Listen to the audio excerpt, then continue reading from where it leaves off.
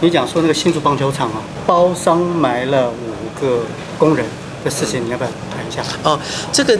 呃，居家建设这个是他之前的黑历史了，因为不是发生在新竹，发生在桃园的部分，不是在新竹。那我们只是觉得进入棒球场当中，我们看到的有很多的弊端，可是我必须要讲说，呃。不管过程是怎么样子，那我们现在要用一个最积极正面，然后呃坦荡的态度，让新竹棒球场尽速能够验收，然后能够开打，不要这么一大笔钱放在这里，然后迟迟不知道什么时候才能够验收。所以我们也希望高安市长其实能够加快脚步，能够尽快让新竹棒球场能够达到验收的状态。可这过程当中，每个环节都不能够马虎，因为过去这几年我们看到了，呃，就是可能当中有一些的不够缜密的一个情况，让我们现在碰到这么多的问题要去解决。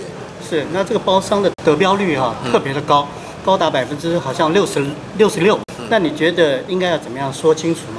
呃，这个部分哈，我在想说，呃，每个包商可能有他们自己专注的领域，然后专注的区域哈。那因为它其实不是一个我们新竹在地的厂商，那只是说它过去这段时间的时候，那在新竹得标的案子特别的多，哦，高达三分之二哈。那到底是什么样的环节？比方说，他特别觉得新竹呃值得来做这样的一个深耕，还是有一些特别的一个人际的关系，或者是怎么样？那么我们也都希望呃新竹市政政府。哦，新的新竹市政府哈，还有或者是相关的一个检调单位，其实如果有针对不法的状态，一定要勿忘勿重，然后尽速把它水落石出。然后人家如果是清清白白的厂商，我们也不要冤枉别人。是，那除了新竹市政府之外。桃园市政府的态度是不是应该要拿出来？您觉得呢？